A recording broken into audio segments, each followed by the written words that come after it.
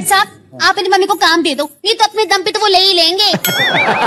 Mummy ना आपकी फ़िल्मों में एकदम फिट है। मतलब आस्की फुटपाथ सड़क मर्डर मम्मी को बहुत एक्सपीरियंस है। आप बस सिचुएशन दो। मम्मी आग लगा देगी आग। सिचुएशन ये है कि आपकी अभी अभी शादी हुई है। अरे बिल्कुल रियल सिचुएशन दे दीजिए तो। इनकी भी लाइफ ग्लैमरस मेरी भी लाइफ ग्लैमरस आपकी लाइफ में कब ग्लैमर आया? कौन सा ग्लैमर सत्रह बच्चे का मैंने बिना ग्लैमर का ही पैदा कर दिए।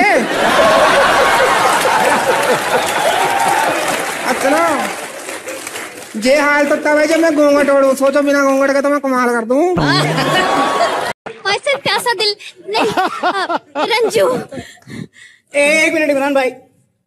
हमारी बहन को हाथ मत लगाना। अरे रुक जाओ माना कि मैं ब्यूटीफुल हूँ साइड हो जाओ इधर आओ। माना कि मैं ब्यूटीफुल हूँ। इसका मतलब ये नहीं कि आप बॉडीगार्ड बन के आगे पीछे मेरे घूमोगे। मैं अपने आत्मरक्षा खुद कर सकती हूँ। हाँ तो कर ले। मैं तुमसे बहुत प्यार करता हूँ और तुमसे शादी करना चाहता नहीं लड़के ऐसे कह के अक्सर मुकर जाते हैं। नहीं मैं नहीं मुकर जाऊँगा।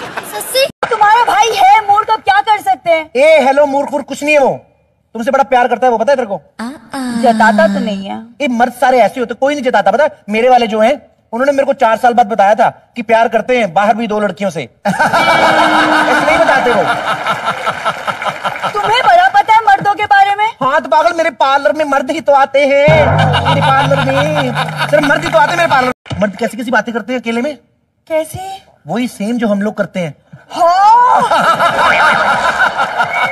शर्म कहीं के अरे नहीं बाबा सारे ऐसे नहीं होते। बीच बीच में क्रिकेट की बातें भी कर लेते हैं। हाँ। पर लेकिन मैं एक बात बताऊँ मेरा बिट्टू ऐसा नहीं है। वो तुमसे बड़ा प्यार करता है। तुम्हें याद है जब तुम्हारी नई नई शादी हुई थी? सारा दिन तुम्हारी बातें करता रहता था वो। हाँ तो क्यों नहीं करता? उस वक्त मैं थी कुछ और। क्या कुछ और थी?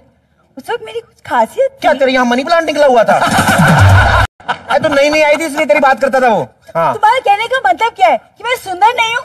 सिद्धू बाजी बताइए ना इसे आप। पटाखा। उनसे क्या पूछ रही है? हर मर्द को अपने बच्चे और दूसरे की बीवी सुंदर ही लगती है।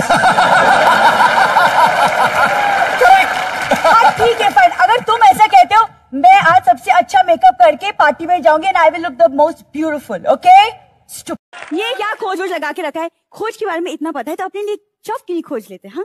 जॉब की नहीं खोज लेते? ढंग की बीवी तो मेरे से खोज ही नहीं गई। जॉब कहाँ से खोजूँगा मैं? बताओ काम क्या है? वो मेरी बेस्ट फ्रेंड का बर्थडे है। ग्यारह सौ रुपए दीजिए ना गिफ्ट खरीदना है। अच्छा बेस्ट फ्रेंड को ग्यारह सौ रुपए गिफ्ट देगी।